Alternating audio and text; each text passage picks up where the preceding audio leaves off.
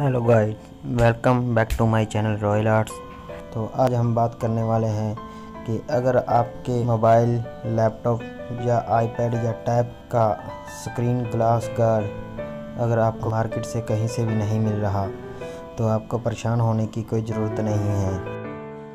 आज की इस वीडियो में हम आपको दिखाने वाले हैं कि आप किसी भी टैब के ऊपर हैंडमेड स्क्रीन गार्ड कैसे लगा सकते हैं। तो आइए शुरू करते हैं आज की वीडियो।